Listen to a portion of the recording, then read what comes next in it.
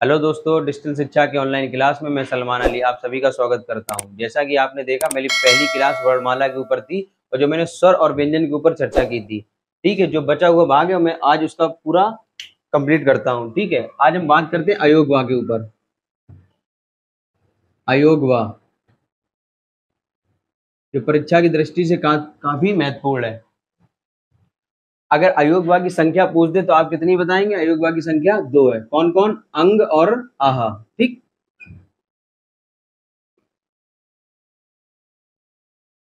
इसको अनुसार कहते हैं और इसको विसर कहते हैं। अयोगवा का प्रयोग हिंदी में तो होता है, लेकिन इसको जगह नहीं देगी ना तो स्वर में और ना ही व्यंजन में। और अयोग बा का नाम किसने दिया? अयोग बा का नाम अगर आपसे पूछ दे तो अयोग बा का नाम किशोरी दास वाजपेयी जी ने दिया है।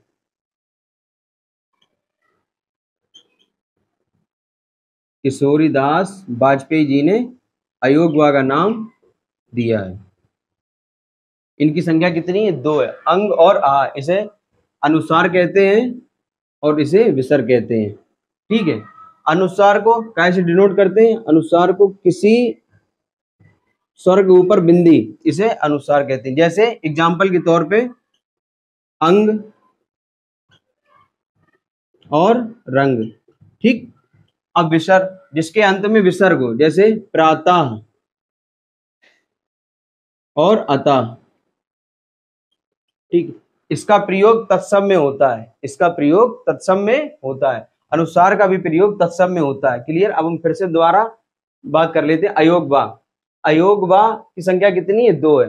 अंग और आ। इसे अनुसार कहते हैं, इसे विसर कहते हैं। अयोग बा का प्रयोग हिंदी में तो होता है, लेकिन ना तो इन्हें स्वर और ना ही व्यंजन में इनको रखा गया है। ठीक? क्लियर और अयोग बा का नाम किसने दिया? किशोरीदास वाजपेयी जी ने दिया है।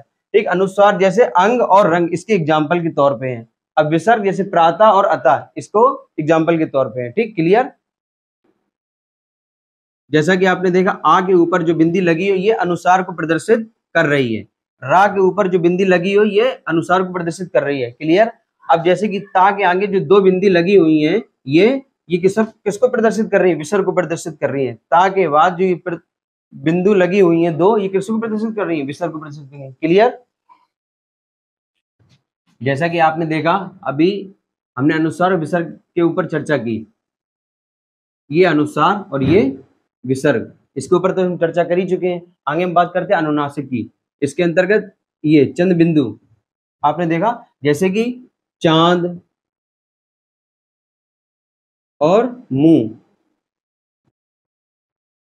ठीक, अनुनासिक के अंदर के चंद बिंदु ठीक, इसका प्रयोग तद्भव में होता है। इसका प्रयोग तद्भव में होता है। ठीक? अब आगे बात कर लेते हैं। निर्नुनासिक और अनुनासिक इसका कोई सिंबल नहीं होता है। कोई चिन्ह नहीं होता। इसे जैसे आ ई उ। ये इसके अंतर्गत आते हैं। क्लियर अनुसार और विसर्ग की हम चर्चा कर, ही चुके हैं। आगे अनुनासिक इसको चंद बिंदु से हम प्रदर्शित करते हैं। जैसे चाँद और मुँह। और अनुनासिक का प्रयोग तद्भव शब्दों में किया जाता है। ठीक है? अब हम बात करते हैं निर्नुनासिक और अनुनासिक इसके अंतर्गत कोई भी चिन्ह का प्रयोग नहीं होता, जैसे आ, ई, उ, ये निर्नुनासिक और अनुनासिक इसको कहते हैं। निर्नुनासिक अनुनासिक इसको कहते हैं। ठीक, क्लियर? आगे और चर्चा करते हैं। जैसा कि आपने देखा, वर्णमाला में हमने स्वर और व्यंजन, स्वर के हमने भेद पढ़ाए, जैसे हेरो दीर्घ स्वर क्लुप्त स्वर, ठीक है? वो मात्रा काल के आधार पर थे। ठीक है, अब ऐसे में बात करते हैं जीवा के आधार पर स्वर के भेद। ठीक है? जीवा के आधार पर स्वर के कितने भेद हैं? तीन भेद है। पहला अग्रसर दूसरा मध्य स्वर तीसरा पश्चर ठीक है, अब अग्रस्वर की बात करते हैं। अग्रस्वर कहते किसे हैं? जिन स्वरों का उच्चारण करते समय जीव का जीव का अग्रभाग कार्य करता है। ठीक? जिन स्वरों का उच्चारण करते समय जीव का अग्रभाग कार्य करता है, उन्हें अग्रस्वर कहते हैं। इनके अंतर्गत कौन कौन वर्ण आते हैं? जैसे ई, बड़ी, ए और आई। ठीक क्लियर अब दूसरा, मध्य स्वर। मध्य स्वर किसे कहते हैं? जिन स्वरों का उच्चारण करते समय जीव का मध्य भाग कार्य करता है उन्हें मध्य स्वर कहते हैं। इसके अंतर्गत कौन सा वर्ण आता है? आ।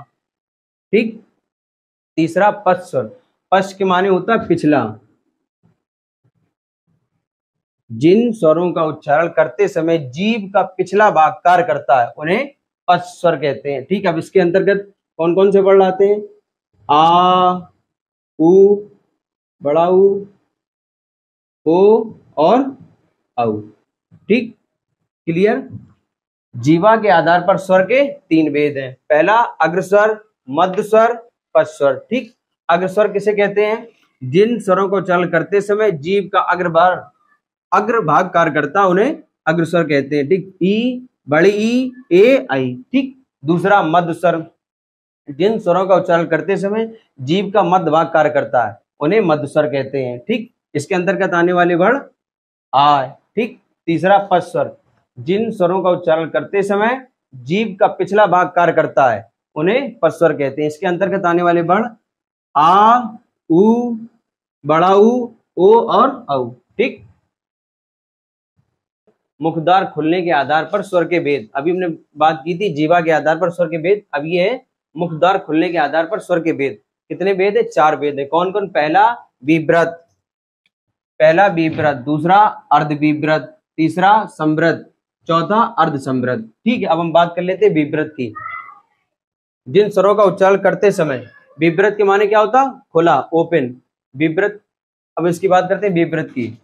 जिन स्वरों का उच्चारण करते समय मुख द्वार लगभग पूरा खुला रहता है ठीक है, पूरा खुला रहता है, उन्हें विव्रत कहते हैं। इसके अंतर्गत आने वाले बड़ बड़ा आ, ठीक क्लियर दूसरा, अर्ध विव्रत अब इसे क्या, अब इसकी डेफिनेशन हम बात कर लेते हैं। जिन स्वरों को उच्चारण करते समय मुख द्वार लगभग आधा खुलता है, ठीक है उन्हें अर्ध विव्रत कहते हैं। इसके अंतर्गत आने वाले बड़ आ, आई और औ, ठीक। समृद्ध, तीसरा, समृद्ध के माने होता क्लोज बंद। जिन स्वरों का उच्चारण करते समय मुख द्वार बंद रहता है, उन्हें समृद्ध कहते हैं। जैसे ई बड़ी ई, उ बड़ा उ, बोल के देख लें उच्चारण के, ई बड़ी ई, उ तो बंद रहता है। ठीक, क्लियर? अब आगे बात करते हैं अर्ध समृद्ध की।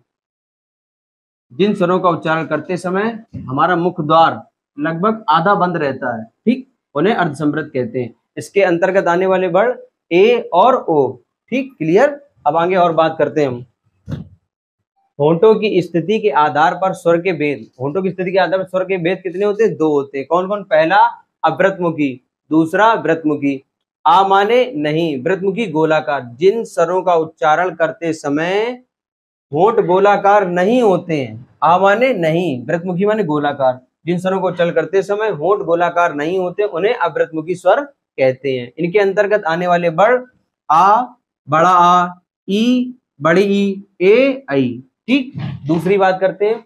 दूसरा व्रतमुखी जिन सरों का उच्चारण करते समय होठ गोलाकार होते हैं, उन्हें व्रतमुखी कहते हैं।